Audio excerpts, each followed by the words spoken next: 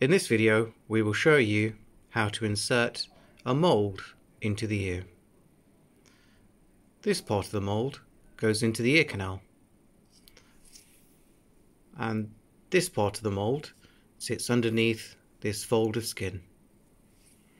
So guide the mould into the ear canal and also the top part of the mould underneath the fold of skin.